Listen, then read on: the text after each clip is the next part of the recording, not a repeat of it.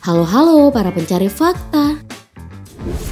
Banyak dari kita yang mungkin merasa cukup sulit untuk memahami kehidupan di planet bumi dengan segala keragamannya. Termasuk hewan, memiliki banyak keberagaman dari segi bentuk dan ukuran.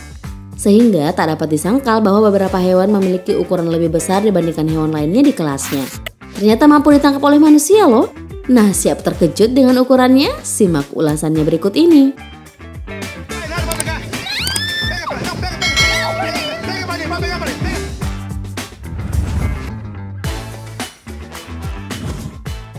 Bayangkan jika itu ada di pojok kamar mandi di tempatmu. Mungkin kamu akan bergidik ngeri. Santai saja. Tarantula ini tidak mungkin kelayapan di dalam rumah karena hewan endemik banyak ditemukan hidup di hutan hujan Amerika Selatan. Predator yang disebut sebagai Goliath Bird Eater ini mempunyai ukuran yang sangat besar dan mampu memangsa seekor kelinci. Ditemukan di sebuah kebun binatang bernama Wellington Zoo memperlihatkan bahwa tarantula ini berhasil menetaskan tarantula raksasa dan menjadi yang terbesar di dunia. Pada ukuran maksimal, hewan ini mempunyai rentang kaki sekitar 30 cm dengan berat 170 gram atau jika diukur-ukur bisa seukuran piring makan orang dewasa.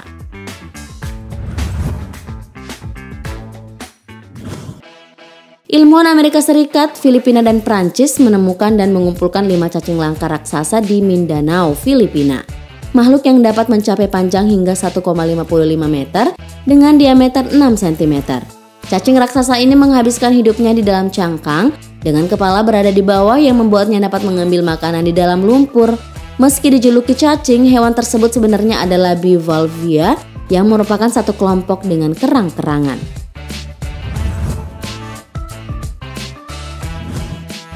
Penemuan kelelawar pada tahun 2008 silam di Filipina hingga saat ini masih menggemparkan dunia jagat maya. Kelelawar yang ditemukan di halaman rumah warga diabadikan oleh Ed Alex Jostar 622 dalam akun Twitter miliknya. Kelelawar yang memiliki ukuran bak seperti anjing ini termasuk dalam jenis Theropus vampirus yang merupakan salah satu kelelawar terbesar di dunia. Rentang sayapnya bisa mencapai 1,5 meter dan beratnya 0,6 hingga 11 kg. Spesies ini punya telinga lancip serta wajah dan kepala seperti anjing atau rubah. Saking besarnya jika disandingkan dengan manusia nggak jauh beda loh ukurannya.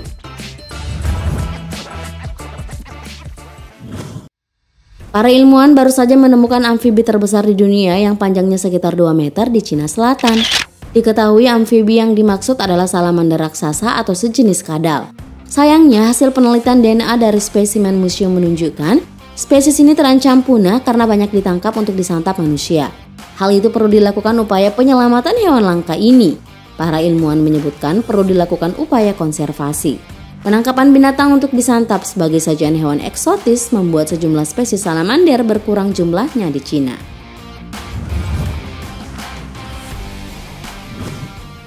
Hewan raksasa yang ditemukan manusia berikutnya adalah cumi-cumi berukuran besar yang kalian pasti nggak nyangka ketika melihatnya.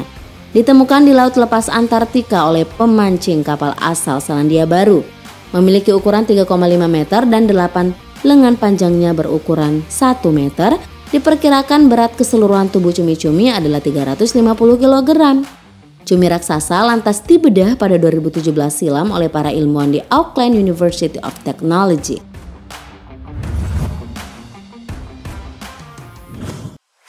Perkenalkan seekor ular python betina bernama Medusa. Beratnya lebih dari 300 pound dengan panjang 25 kaki dan dibutuhkan 15 orang untuk mengangkatnya. Ular ini tengah dalam persiapan menyandang gelar sebagai ular terbesar di dunia dan telah dicatatkan ke dalam Guinness Book of World Records. Dengan bobot yang dimilikinya dalam sepekan, reptil besar yang dipajang di The Age of Hell, Kansas City, Amerika Serikat ini menyantap sekira 18 kg daging hewan. Namun karena dia mudah, dapat menyantap sesuatu, terkadang dalam sepekan total daging yang disantapnya bisa melebihi 45 kg.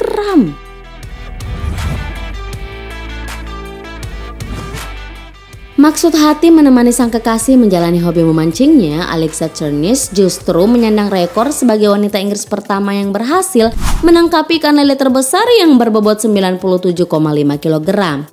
Wanita asal Holland Park, London Barat ini berhasil mendaratkan seekor lele raksasa saat sedang berlibur di Spanyol bersama kekasihnya setelah berjuang selama 1,5 jam. Hingga akhirnya dia berhasil menangkap ikan berjenis hibrida itu dan diketahui lele tersebut memiliki berat 1,5 kali lebih berat dari dirinya dengan ukurannya sepanjang 2,5 meter.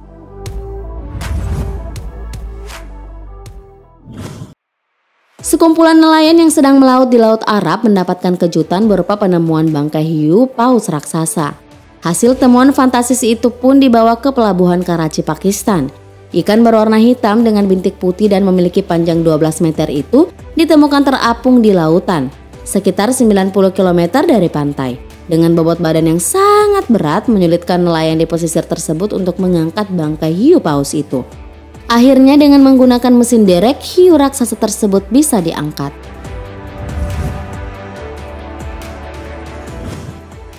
Tak terlepas dari hewan predator ini, wisatawan yang tengah mengitari sungai Amazon dengan menggunakan perahu kecil menemukan seekor ular anaconda.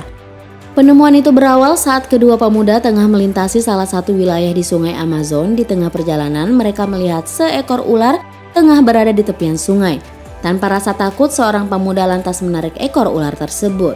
Hmm, saat ditarik tuh, ular itu memperlihatkan badan yang sangat besar. Nampaknya ular itu baru saja memakan mangsa buruannya. Lihat aja perutnya, uh, untung aja udah makan ya. Kalau enggak, mas-masnya bisa jadi santapannya tuh. Dengan berbagai perlawanan yang dilakukan, akhirnya ular tersebut lepas dari genggaman pemuda tersebut. Warga Provinsi Henan, Tiongkok dihebohkan dengan penangkapan babi raksasa. Babi tersebut memiliki ukuran yang aneh 2,1 meter, 1,05 meter dan beratnya 750 kg. Sungguh ukuran tubuh yang gak biasa bagi binatang berkaki empat tersebut. Seorang peternak mengungkapkan jika dia menemukan bayi tersebut dalam keadaan masih kecil. Namun tanpa disadarinya sejak usia babi itu beranjak 3 tahun, dia tak menyangka bahwa babi yang diternakan itu memiliki bobot besar melebihi bobot manusia dewasa.